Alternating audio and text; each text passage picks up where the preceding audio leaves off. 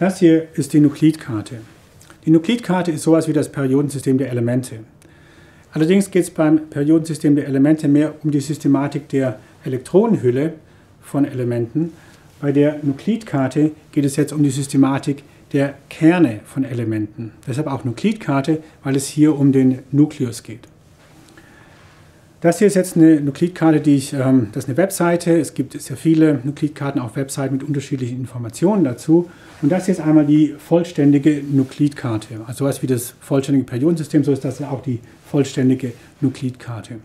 Das ist eine interaktive Nuklidkarte und ich zoome jetzt mal ein bisschen rein, um zu sehen, ähm, wie diese Systematik der Nuklide funktioniert und wie wir die verwenden können, um Informationen rauszuholen, sowie auch ein Periodensystem nehmen, um Informationen rauszuholen. Also ich zoome hier mal rein.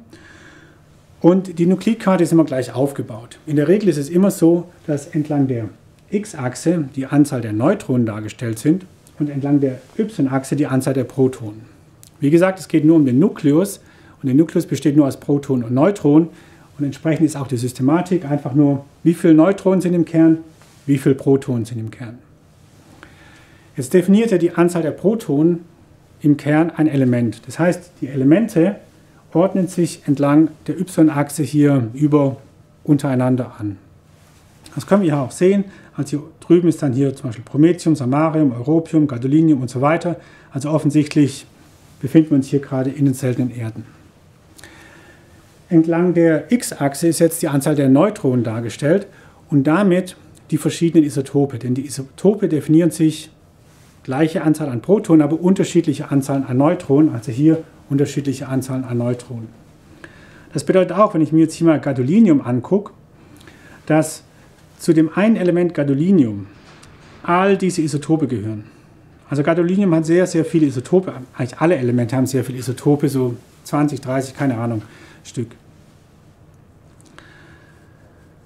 Ähm, jetzt ist es so, dass man hier verschiedene Farben sieht. Also einmal das grüne, einmal das türkisfarbene. Auf die ich will hier nicht im Detail darauf eingehen. Das, die Sache ist, dass alle farbigen ähm, Isotope sind radioaktiv und zerfallen meist sehr schnell, meistens Sekunden, Millisekunden. Und zwar zerfallen die Grünen in diese Richtung bis zu den Schwarzen und die Schwarzen sind die stabilen Isotope und die türkisfarbenen zerfallen in diese Richtung eben auch wieder bis zu den Schwarzen, bis zu den stabilen Isotopen. Also das Grüne und das Türkisfarbene sind wie so zwei Flanken, ähm, von, die, die zerfallen, an zerfallenen Isotopen und unten im Tal kommt man bei einen stabilen Isotopen an. Und deshalb heißt diese, diese schwarzen Isotope nennt man auch hier an dieser Stelle das Tal der Stabilität, weil dort alle stabilen Isotope sich hinbewegen. Als letztes, was man jetzt noch als Information oder was als Information immer angegeben ist in Nuklidkarten, das sind verschiedene Dinge. Ich zoome hier mal sehr weit rein. Ähm, und zwar ist das sowas wie die Halbwertszeit, dass ja das, was für die Kosmochemie auch mit am interessantesten ist. Also beim Schwarzen steht natürlich stable dran, weil es stabil ist.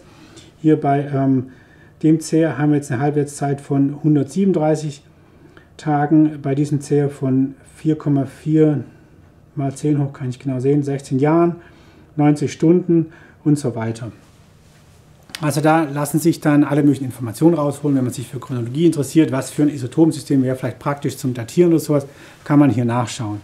Aber natürlich nicht nur für die Chronologie, sondern es ist auch für stabile Isotope wichtig, wenn man einfach wissen will, wie viel stabile Isotope hat ein Element. Wenn ich jetzt also wissen möchte, ähm, wie viel stabile Isotope hat zum Beispiel Neodymium. Neodymium befindet sich hier und dann gehe ich hier rüber und zähle nach und sehe 1, 2, 3, 4. Versteckt sich vielleicht noch eins, wahrscheinlich nicht.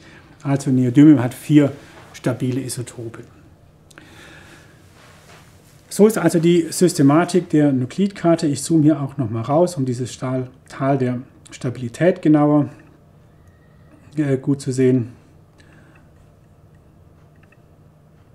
Ja, jetzt kann man das hier sehr gut sehen, dieses schwarze Tal der Stabilität. Man kann auch noch sehen, dass bei sehr schweren Isotopen, dass die eigentlich alle instabil sind, das ist auch Uran, Thorium, Plutonium und so weiter. Das sind alles die instabilen Isotope. Die stabilen sind alle die etwas leichteren. Ähm, so funktioniert die Nuklidkarte. Das ist die Systematik der Nuklide von Atomen oder Isotopen und die ganzen Informationen, die dort eingetragen sind und die man für die verschiedenen Anwendungen in der Kosmochemie dann dort herausziehen kann.